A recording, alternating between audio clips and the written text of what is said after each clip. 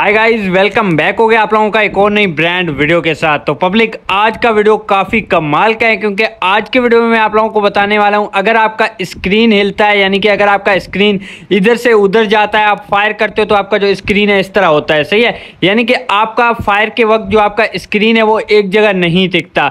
जैसे मैं यहाँ पर मैं आप लोगों को करके भी दिखाता हूँ। मेरा भी होता है, लेकिन मैंने इस प्रॉब्लम को सोल्व कर दिया सही है? यहाँ पे देखो मैं फायर कर रहा हूँ तो ये देखो ये देखो। यानी कि आपका जो फायर है वो एक जगह नहीं रुकता, यानी कि इधर से उधर जाता है और आपका जो स्क्रीन है वो पूरा हिल जाता है, फायर के वक्त सिर्फ़ सही है? तो मैं आप लोगों को इसका ट्रिक बताऊँगा जिससे आपका ये जो स्क्रीन है ये बिल्कुल भी नहीं हिलने वाला। तो सबसे पहले अगर आप मेरे चैनल पर नए हो तो प्लीज़ पब्लिक यार चैनल को सब्सक्राइब और वीडियो को लाइक कर दो। तो यहाँ पे देखो, ओ भाई साहब, देखो कितना मेरा स्क्रीन है वो हिल रहा है, यानी कि एक जगह भाई ठहर रहा ही नहीं है। मैं यहाँ से फायर कर रहा हूँ और मेरा जो स्क्रीन है वो एक जगह से दूसरी जगह अचानक निकल जाता है। तो सबसे पहले आप लोगों ने करना क्या है भाई? सबसे पहले आप लोगों ने आ जाना है सेटिंग पे।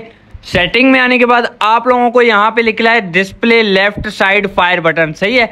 यहाँ पे आप लोगों को दिख रहा है। आप लोगों ने करना क्या है? पहले इसको कर देना है डिजेबल सही है? डिजेबल कर देना है। डिजेबल करने के बाद आप लोगों ने आ जाना है कस्टमाइज बटन पे। कस्टमाइज बटन के ऊपर क्लिक करना है और यहाँ से आ जाना है सीधा कंट्रोल पे। अब सारा खेल यहाँ से स्टार्ट होता है। आप लोगों ने करना क्या? जो आपका दूसरा फायर बटन है, जो display left side fire button है, वो तो भाई ऑफ़ हो गया ना। इसके बाद जो आपका दूसरा फायर बटन है, इसको आप लोगों ने करना क्या? है यहाँ से बंद कर देना है हाइड कर देना है, यानी कि इसको आप लोगों ने बंद कर देना है। बंद करने के बाद आप लोगों ने और कुछ नहीं करना है, इसको सेव कर देना है। सेव करने के बाद आप लोगों ने बाहर आ जाना है दोबारा से। दोबारा से यहाँ पे देखो मेरे पास जो फायर बटन है, अब है ही नहीं। आप लोगों ने दोबारा से आ जाना है सेटिंग में। सेटिंग में आने के बाद आप लोगों ने करना क्या display left side fire button जो हमने ऑफ़ किया था, इसको आप लोगों ने दोबारा से यहाँ से ऑलवेज ऑन के ऊपर क्लिक करना है। ये देखो मैं यहाँ से क्लिक कर रहा हूँ। तो इसको आप लोगों ने ऑलवेज ऑन के ऊपर क्लिक करना है और दोबारा से आ जाना है बैक पे। अब आप लोगों ने ट्राई करना है कि आपका जो स्क्रीन है वो यानी कि हिलता है नहीं। यहाँ पे आप देख सकते हो, अब मैं मारता हूँ इस बंदे को। मेरा स्क्रीन भाई एक जगह से दूसरी जगह जाएगा ही नहीं। चाहे मैं जितना भी फायर करूँ ना मेरा बिल्कुल एम के ऊपर यानी कि फायर होगा एनिमी के ऊपर यहाँ पे देख सकते हो।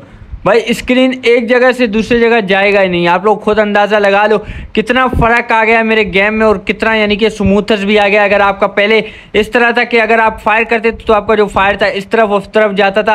अगर आप ये सेटिंग कर लेते तो, आपका जो फायर है वो एकदम बढ़िया हो जाएगा और आपका एम भी भाई बंदों के ऊपर चिपक जाएगा। तो यहाँ से मैं आप लोगों को ट्राई भी करके दिखाता हूँ बंदा कहाँ गया? भाई बंदा तो ये आ रहा है, ये देखो। भाई, कोई भी लैग नहीं कर रहा है और कोई भी स्क्रीन नहीं हिल रहा। तो भाई, ये सेटिंग आप लोगों ने लाजमी करना है। बाकी इसके अलावा एक और भी सेटिंग है, अगर आपका यानी कि एम वगैरह सेट नहीं है तो आप लोगों ने सेटिंग में आ जाना है। सेंसिटिविटी में आ जाना है। सेंसिटिविटी में आने के बाद जायरोस्कोप वाले हैं जो जायरो यूज़ करते हैं। इसका जो सेटिंग है, वो भाई इसको 228 या फिर 200 पे रख देना है। एंड इसके अलावा जो लेंस यानी कि खाली जायरो यूज़ नहीं करते वो इसको सौ या फिर डेढ़ सौ पे रख सकते हैं। तो सिंपली जो सेटिंग था मैंने आप लोगों के साथ शेयर किया, बस यही सेटिंग आप लोगों ने अपने डिवाइस में करना है और आपका जो एम है वो एकदम भाई चिपक जाएगा। और ये जो स्क्रीन मूविंग प्रॉब्लम है, यानी कि आप अगर फायर करते हो तो आपका जो एम है वो इधर उधर निकल जाता है। ये आपका हंड्रेड परसेंट भाई सोल्व हो जाएगा। आप कहोगे, भाई, क्या ही आप लोगों ने ट्रिक बताया? तो यहाँ पे देख सकते हो भाई, मेरा स्क्रीन नहीं हिलेगा। कितना भी मैं करूँगा, लेकिन मेरा जो स्क्रीन है वो यहीं पे यहीं रहेगा। तो ये काफ़ी बढ़िया ट्रैक है। अगर वीडियो अच्छा लगा तो भाई वीडियो को लाइक आप लोगों ने कर देना और चैनल पर नए हो तो प्लीज़ पब्लिक यार सब्सक्राइब भी कर देना। तो मिलेंगे एक और नई ब्रांड वीडियो के साथ। आज के लिए इतना ही। अल्लाह हाफिज़ दोस्तों।